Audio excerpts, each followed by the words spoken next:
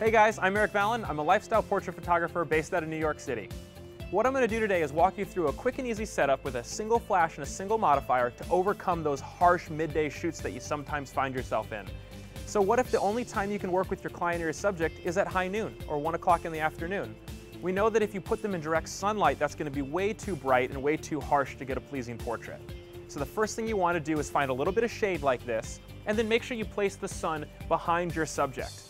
So by doing this, the front of your model space is going to be in complete shadow and you have a blank canvas to work with when we start adding our own lights with a flash and a Rogue FlashBender. So the first exposure we're going to look at is for the ambient light. So we're going to manually set our camera so that all this background going on behind our model isn't overexposed. So once we've got that dialed in, you'll look at the photo and you'll notice, yes, beautiful background, but our subject's kind of dark. Here's where we add our flash. By taking our flash off camera and adding the Rogue FlashBender 2, the XL Pro, the really big one, we're able to get a nice soft push of light from the side and we can dial that in to balance the exposure on our model's face with the exposure of the background that we just tamed with our camera settings. One quick tip to really add a little extra something to your portrait.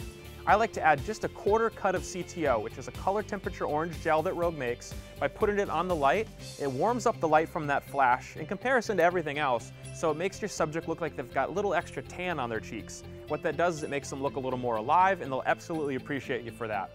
So what we've done is with a single flash, We've gone ahead and found some shade, dialed down the ambient light. We're building in beautiful light with our Rogue FlashBender with the kiss of warmth from that gel, and we've taken what would be a disastrous one o'clock in the afternoon natural light shoot and walked away with beautiful professional looking portraits with just a light and one FlashBender.